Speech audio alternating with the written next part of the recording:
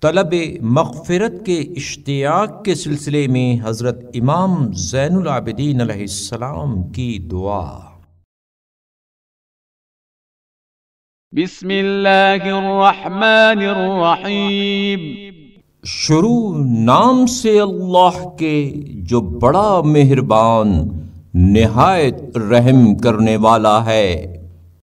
اللهم صل على محمد وآله وصيرنا إلى محبوبك من التوبة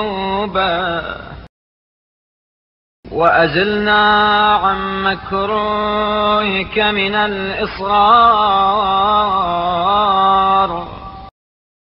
اللهم ومتى وقفنا بين نقصين في دين أو دنيا فأوقع النقص بأسرعهما فناء واجعل التوبة في أطولهما بقاء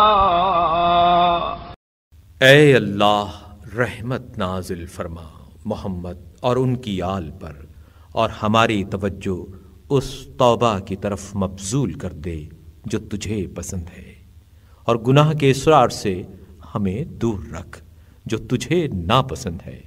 بار لاہا جب ہمارا موقف کچھ ایسا ہو کہ ہماری کسی کوتاہی کے باعث دین کا زیاں ہوتا ہو یا دنیا کا، تو نقصان دنیا میں قرار دے کہ جو جلد فنا پذیر ہے اور اف و درگزر کو دین کے معاملے میں قرار دے جو باقی و برقرار رہنے والا ہے۔ وَإِذَا هَمَمْنَا بِهَمَّيْن يُرْضِيكَ أَحَدُهُمَا عَنَّا وَيُسْخِطُكَ الْآخَرُ عَلَيْنَا فمل بنا إلى ما يرضيك عنا. وأوهن قوتنا عما يسخطك علينا. ولا تخل في ذلك بين نفوسنا واختيارها.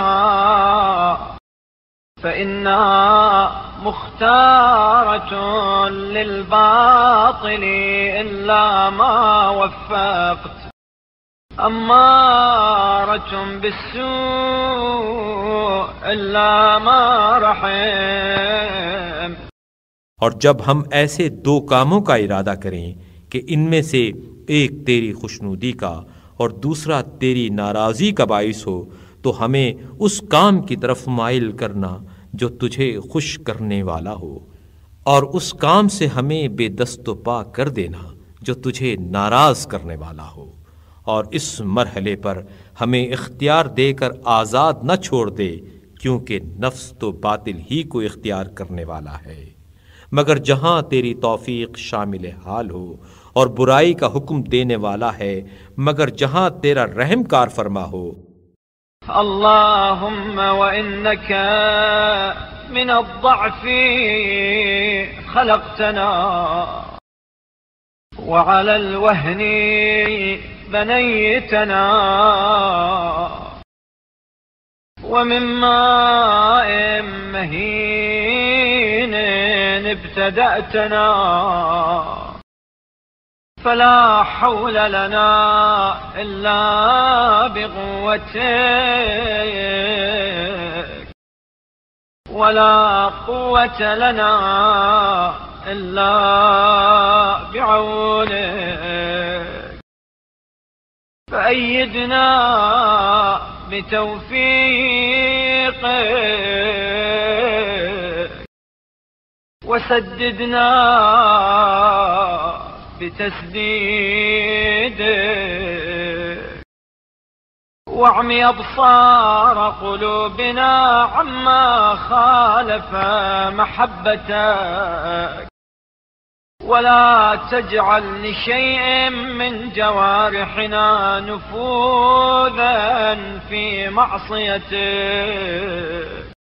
بار الہ تو نے ہمیں کمزور اور سست بنیاد پیدا کیا ہے۔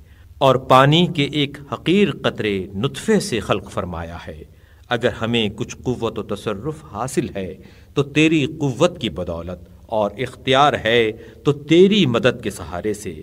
لہٰذا اپنی توفیق سے ہماری دستگیری فرما اور اپنی رہنمائی سے استحکام و قوت بخش اور ہمارے دیدہ دل کو ان باتوں سے جو تیری محبت کے خلاف ہیں نابینا کر دے۔ اور ہمارے اعضاء کے کسی حصے میں معصیت کے سرایت کرنے کی گنجائش پیدا نہ کر۔ اللهم فصل على محمد وآله واجعل همسات قلوبنا وحركات أعضائنا ولمحات أعيننا ولهجات ألسنتنا في موجبات ثوابك حتى لا تفوتنا حسنا. نستحق بها جزاءك ولا تبقى لنا سيئات نستوجب بها عقابا.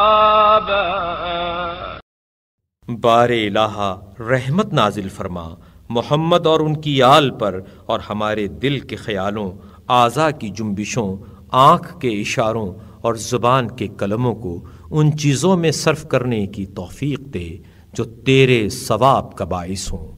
یہاں تک کہ ہم سے کوئی ایسی نیکی چھوٹنے نہ پائے جس سے ہم تیرے اجر و ثواب کے مستحق قرار پائیں۔